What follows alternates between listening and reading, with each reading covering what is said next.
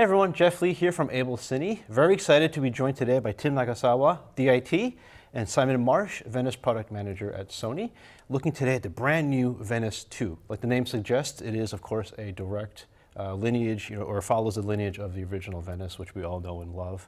Uh, lots of great new features. You guys just came off of a shoot all around Brooklyn and New York the past two days, so love to tap both of your brains about that experience. But of course, with all the new features, we have to talk about, I think the thing that stands out the most, probably the most, will be the fact that there's a new sensor. Right? There's a 6K sensor from the Venice, it still exists and can be swapped, and we'll talk about that. Mm -hmm. But of course, the brand new 8.6K sensor. So Simon, if you don't mind, can you talk a little bit about that and what Absolutely. that looks like? Absolutely. There's, a brand new 8.6K sensor, still full frame, so you get all the same um, size formats with the current with the current Venice. But the beauty of this new sensor is the quality of it. It is stunning you will right. see 16 stops of dynamic range. The, the, the, shadows are so super clean and the highlights just roll off beautifully. It really is a step forward in the next generation of sensor technology. Right, that's amazing. And naturally, as sort of a practical example, uh, there's also new base, dual base ISOs. It so. is, yes. Um, it's gone from 500 and 2500 on the original Venice. We now at 800 and 3200 as a, as a dual base ISOs now. Yeah. And Tim, you were showing me some of the footage from earlier, and mm -hmm. you mm-hmm. guys were doing some stuff at sunset. You guys did some stuff uh, inside of the pool hall. You know, I'm assuming really low light because it's kind of ver verite style mm -hmm. shoot. So can you describe a little bit of that, and certainly as a DIT, when you know, uh, your perspective when you're looking at the uh, the image and the scopes and everything that you look at normally. Yeah, absolutely. We, you know, we had a set schedule what we wanted to shoot, but there were times where we saw something and just absolutely loved it and had to run out there and shoot it real quick. But because of how fast it booted up and the amazing um, latitude, we were able to just run out there, shoot a sunset or shoot a sunrise, and get that shot, then move back into what we were originally going to shoot with no worries at all, knowing that all the information there, right. all, you know, the the color is amazing, the latitude is amazing, exposure is amazing. Yeah, of course, the stunning latitude, like you mentioned, super yeah, critical. Absolutely. That roll off. It's uh, incredible. Yeah, from the bridge, from some of that footage, mm -hmm. is just really eye candy. Uh, of course, all the same sort of, or not same, but all the sort of features that we all know and love, like the built-in ND filters, right? That yes, still we still maintain the eight eight stops of ND. Uh, the the other really big feature of the camera is, if I jump maybe turning around, is that we now have internal recording. There's right. no requirement for an AXS R7 recorder now to record XOCN right. RAW. So we now have instead, where was the uh, original S by S slots is now AXS slot, right. media. Right. So, so, built in, no longer the need for the AXS R7. Exactly. Uh, so it makes the body significantly shorter, shorter than a R7 right. and a Venice combination. And that lends to that shoot that you guys are just on, where you guys are jumping in and out of vans. I'm sure that helped. I'm sure the uh, operator or the AC appreciated the fact that it's a much smaller package. Absolutely. And we were on a previous shoot um, in, in British Columbia. Uh, we were on, on drones, on gimbals, in a Hydroflex, in an F1 Shotover. We put it into anything we could possibly think of to test the camera, and it's, it's performed flawlessly. So we're, we're very, very happy with it. And the shorter length makes it a lot easier to rig now. Yeah, right. I would say definitely the ergonomics, the size, the weight, and the balance work really, really well. Yeah, that's yeah, the, the, feedback we've had from operators is they feel like it's, it's perfect now for them. Right. Yeah, and it just avoids any additional complications of having to worry about two sets of media cards. It's just really straightforward, easy. Yeah. Use your existing AXS cards, uh, just super fast. I'm sure you mm-hmm. appreciate that when you're oh, yes. stuck at the end of the day trying to upload yeah. and ingest and make proxies and whatnot. Um, of course, you've also made a couple of changes too, right? The codec variety has been expanded a little bit in that you now have ProRes uh, 4K internally. There is 4K ProRes as well. You can so you can either shoot XOCN as a XT, ST, or LT, but you can now have 4K ProRes as an option as well. Right. Yeah, I'm sure a lot of folks who may be doing some stuff that doesn't require as much grading would certainly appreciate the direct-to-video sort of approach. Exactly, and that's available as 4444 or 422HQ. Um, within the future, we will be implementing XQ as well for okay. Yeah, excellent. Um, you know, other small things I think that we noticed and we appreciate, you know, you, uh, instead of the four pin Hirose for accessory power, it's now become a LEMO, a two yes, pin two pin LEMO, yes. Yeah, exactly. So a little bit more industry standard in mm -hmm. some mm-hmm. ways. So I'm sure the crews would certainly appreciate that.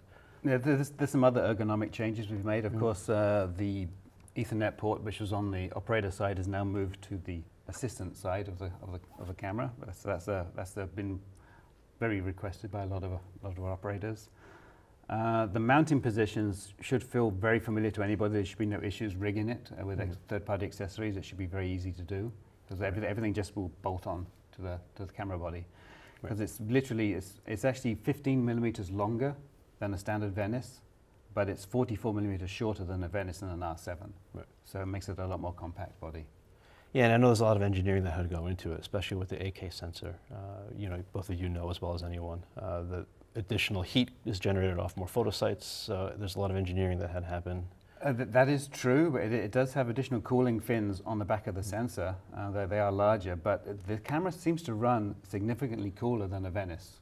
There is so much airflow. They've, they've the cavity inside of the body, and they're drawing much more air through, so it actually runs quieter and a lot cooler than the current Venice in, in, in our testing that we've done right now. Right.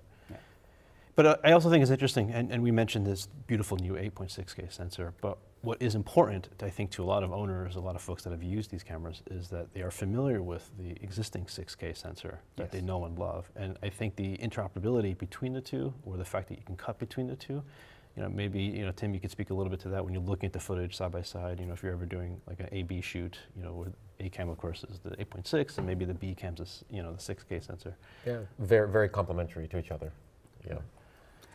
The color science. We actually, we actually did a, a shoot just for that with Claudio Miranda. oh, great. So we shot Venice and we shot Venice 2 8K side by side and then intercut them. Um, and Claudia is, is doing a behind the scenes video for that to, to give his feedback on how they nicely they cut together Right. and the and the improvements he sees from the Venice 2.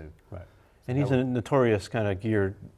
Uh, he picks apart gear, I should say. Oh, yes, he, likes to really analyze the pixels, and, Mhm. and I mean this with all due respect, of Mhm. course, because I obviously respect his body. And, and that's why we like to use Yeah. work with the well, that's the thing. He'll, he'll give you the honest feedback Yeah. that you you know you take back to HQ or back Mhm. to the team. But uh, I think that's important when you have folks like him, you know, Yes. uh, pixel peeping. So the fact that you can intercut between the two, uh, so you're, you're continuing the lineage and the you know the Venice will continue to. I don't imagine that personally speaking going away anytime soon. No, I don't think so. Yeah, There- it'll there- continue to be the workhorse there's of the so many in the marketplace. They're gonna they're always going to keep working. Yeah, I Yeah. agree.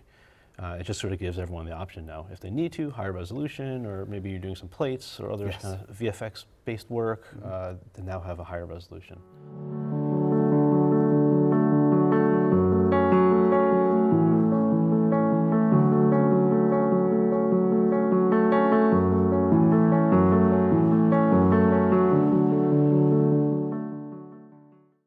Other sort of, you know, other than the, the topics we've talked about and some of the ergonomic changes, um, what other sort of development things can you tell us about, you know, internally? Well, the, the, the key thing that you mentioned earlier, Jeff, was that we can actually put a 6K sensor in this body. Hmm. So it's actually a sensor interchangeable camera. So you can, if you want to shoot 8.6K, you can. If you want to shoot 6K, you can do that as well. So if you maybe had original Venice and you had Venice 2 side by side and you wanted to have everything match, Right. all the resolutions, all the uh, data rates and everything, you could just put a 6K um, sensor in here and it's identical. It just boots up as a 6K camera. Instead, Right. And you put an 8K, 8K sensor in it, it boots up as an 8K camera. right. I think that's important. I'm sure there's, a lot there's of There's no reinstall installation of firmware or anything like that. It just does it automatically. Right. And you know, the original Venice and of course Venice 2, one of the earliest sort of groundbreaking features was the fact that it is a user swappable or you know movable sensor. Right, with, with the Rialto system, yeah. yeah, exactly. The optical block, the ND filters all Mhm. kind of come along. There's a Yeah. couple of screws, so it's really user friendly. It doesn't require a bench. Yeah, exactly. Um, and I understand this, of course, uh, coming in soon, there'll be a new version of the Rialto. There will be an 8K to support the version of 8K. the Rialto, yes, uh, Right. probably within a year of, of launch of the of the 8K Venice 2. Right. Yeah, I think that's to be expected. I think everyone likes using it. You mentioned a lot of the, the drone work and gimbal work, Mhm. you know, or maybe specialty use like mounting on a helmet or something. Uh, and you know, the, the operator Yeah, wears there's it as a people have done some crazy things with Rialto. Yeah, but it's really great and innovative and, and Mhm. very forward thinking. So Tim, I definitely want to pick your brain uh, as a DIT, as the person that looks at you know essentially your pixel peeping as well, and then looking at scopes. I want your input on what you're seeing as far as the image quality, things like skin tone and highlight roll off, and you know looking into the shadows and what that what the shadow detail looks like. So can you talk a little bit about your experience? I know you've shot a lot with this camera uh, very recently, so love to hear your perspective on, on some of those aspects. Yeah, it's very versatile. Um, we put it through its paces for sure. Uh, very clean blacks. Uh, like like Simon said, the highlights roll off very beautifully. Um, I just noticed the um, how the um, especially the skin tones just kind of uh, roll off very very gracefully. Um, and you know we're we're we're putting in situations of uh, shooting underwater, shooting drone, shooting uh, sunrises, shooting sunsets. uh, shooting in forest where it's very, very dark, going into direct sunlight, and everything's holding very, very well. Um, be able to, yeah, just be, being able to shoot in any conditions at any time is, is key. Yeah, and, and earlier you described the situation where you you were shooting, um, I think, a sunset or maybe it was a Yeah. sunrise, but you Yeah. just you wanted to keep a certain T-stop, Yeah, and you just of course rolled in the NDs. Yeah, it was very easy while we were rolling um, during sunset. Just to, to keep, uh, I think we were shooting at like a five six, and to keep that um, depth of field, we just kept on rolling in the ND throughout throughout the, the sunrise. Tim, you were recently uh, on a shoot with Rob McLachlan for quite some time. My understanding is he's probably the one single person that shot the most with Venice 2 at this point in time. Uh, but what I didn't realize, uh, which is quite amazing to me, is that you guys only shot natural light. There was no fixed lighting sources or anything brought in. Absolutely. Yeah, I mean everything looks so incredibly natural. Um, it came to the point where we were getting to if you see something with your naked eye and it looks really good, we just start shooting it, and it came out better than what we actually saw. Okay. Camera ca- saw to the lights and the, The shadows The camera better. was actually seeing stuff that we couldn't see with the naked eye. Right. Incredible, especially at nighttime. Yeah. Yeah, certainly nighttime. Certainly, I, I can certainly imagine that. ju- Mm-hmm. Just the you know uh, ability to pull out detail from the shadows, Yeah. and then of course you were in those situations. Just flip to 3200. No worries, no concerns about noise or. Not absolutely just clean. That's an amazing point. The fact that the camera's picking up stuff that you guys can't see uh, with the naked eye. But I think what's still important, what everyone always focuses on, uh, as we should, uh, we're all selfish creatures, right? We're human. So we want to be able to see the skin tone. We want to be able to see how that renders, especially when you're shooting a diverse cast, you know, in terms of complexion. So, uh, Tim, from your perspective, you know, how, how is that handled, you know, still with the, with the color science within the Sony Venice 2? Yeah, we had a, a, a variety of different skin tones we used just to test it out, and um, you know, all the details there. It was just a very soft roll off of the of the exposure and color and the skin tones. It's just very impressive. Right. Maintains that beauty, but you still have the sharpness that you want in Yeah. key focal areas, but Mhm. it's not hyper sharp, I suppose. Is Right. that a good way to describe it? And and no use of filters at all, and still getting that that beautiful roll off of all the skin tones. right. Yeah, I mean, I'm, naturally, a lot of that can be attributed to the glass, but I think a lot of it is how the sensor sees it on the back end and that processing uh, power. Uh, Well, Glenn, yeah. One of the shoots we were on, um, we actually just used the Zeiss Supreme Primes because they're so clean. mhm. Uh, Rob McLachlan did not want to have the lenses impart anything on the ish, on the image Right. at all. He wanted it as clean as possible, so we actually see what the sensor does. Right. And then we, when we see his piece uh, finally graded, that, that's what you'll be able to take away from it. I think that's a really important point you bring up. We, as creatives, we have a choice now with optics. You know, Yeah. super neutral, super clean, or something that has a little bit more character or flair to it, uh, quite literally flair. Yeah. But what's important is that the sensor gives you the best possible performance, so then you make that decision on the Mhm. optic side, if you It's an artistic choice at that point, yeah. Yeah, so that's really great. Um, and a little bit of discussion on the workflow too. Um, you know, I think this is misconception still, even though it's many, many, many years. We're all used to shooting raw. You know, I think my phone has raw these days, and not, not, not that I use it, but uh, I think there is some misconception still to some point that you know the files are big and it's you know not manageable. So, as someone who's directly working with the files, can you speak a little bit to what that's like on your on your uh, side? Yeah, um, they are large files, but extremely stable and fast. We found ourselves in a situation where we were kind of running around Brooklyn, so I was downloading and transferring and um, making proxies in the back of a van on a laptop, and I was able to keep up with um, the shooting day and get done pretty quickly. Um, mostly from the because of the support of the software and hardware from Sony and third-party party products. Um, It's just really great and really fast, Right. and uh, complete confidence. Yeah, I think that's really ultimately the most important thing. You are, in many ways, the image keeper, the gatekeeper to the image Yeah. on set, and you, you know, the director relies on you, or the DP relies on you to say, yes, we got it. Yeah, and I felt great walking away at the end of the day knowing that everything is there and secure and, and checked with no worries at all. Right.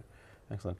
And speaking of some of your tools, I'm curious too where your workflow was. I know with the Ethernet port, you can do uh, direct live grading with Pomfort Live Grade. Uh, Did you do any of that for this, for any of the particular shoots, either the most recent one or the one with? Not um, much. uh, We didn't do live grade, but you're correct. There will be AC CDL control Right. via Ethernet or Wi-Fi using Pomfret. So that's we're very excited to, to uh, introduce that at the, Yeah. at the same launch time as the camera. Yeah, it's great, and, and then the CDL is saved as metadata to the file. Exactly, it's embedded in the metadata.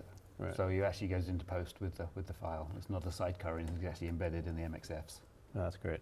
So I think it gives someone like, like Tim working on a day-to-day basis the flexibility, depending, right? You can either uh, you know burn in a look with your console or, or do it as a CDL and have it carried aside as a, as a metadata file. Exactly. Yeah, that's great. Yeah, that's that's fantastic. I'm really, again, like I've mentioned, I think probably a few times at this point, really excited about this development. I think it shows that Sony is looking and listening and taking all the feedback from all the folks that you you know creatively collaborate with, such as Tim, and then building a product such as this, which is sort of the, the evolution of an a- already a great platform. Yeah, it's, de- it's definitely an evolution, yes. Oh, fantastic. We've taken much feedback from, from our end users, and it always goes back to the design group in Japan, and uh, this is the end result. Yeah. So looking forward to seeing more, of course, with this. Um, we know, you know, we can't wait for them to hit the shelves, as the expression goes. But uh, you know, keeping everyone posted on that. Uh, Simon and Tim, thank you so much for joining us today. I Really appreciate all much. your insight and knowledge, and certainly experience coming off of the back of multiple shoots with this, especially.